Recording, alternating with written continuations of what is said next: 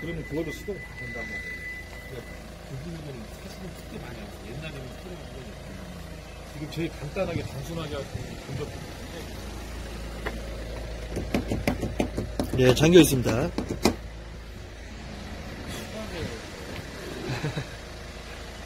저거를 사이드 미러 위쪽, 에이트 같은 거 빨리.